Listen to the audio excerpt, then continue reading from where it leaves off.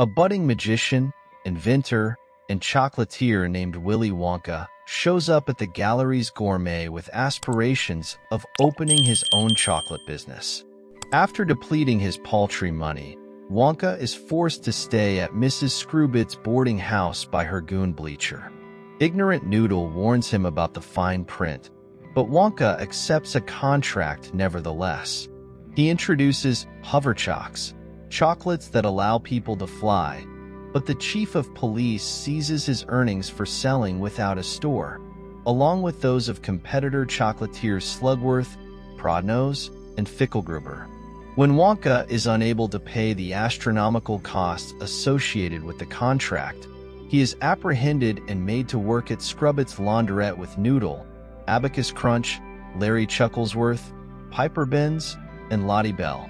Noodle offers to teach Wonka to read when he reveals that his love of chocolate is a result of his late mother.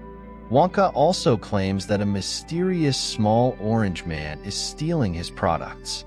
Threatened by Wonka's superior and more reasonably priced chocolate, Slugworth and the Chocolate Cartel pay the toothy chief in order to scare Wonka. As a diversion, Scrubbit and Bleacher fall in love as Wonka and Noodle break into the zoo to milk Abigail the giraffe in order to manufacture his famous chocolate.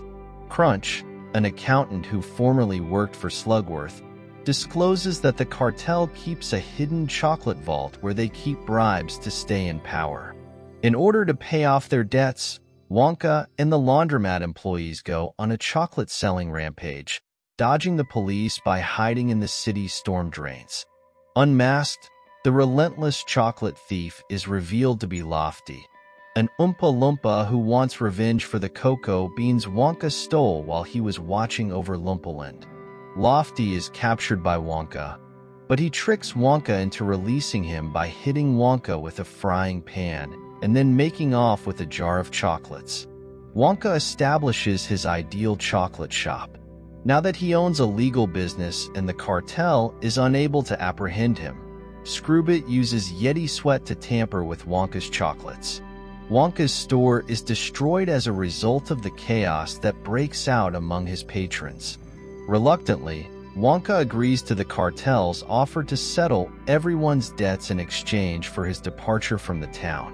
While Slugworth pays Scrubbit to keep Noodle indefinitely, the laundry workers are released. Wonka assumes that Noodle and Slugworth are linked before realizing that the cartel has set up the boat to blow up with Lofty's help. After saving Noodle, Wonka and his allies come up with a plan to get the cartel's damning accounting book. After Wonka and Noodle infiltrate the cartel's headquarters by using Abigail as a distraction, the cartel confronts them.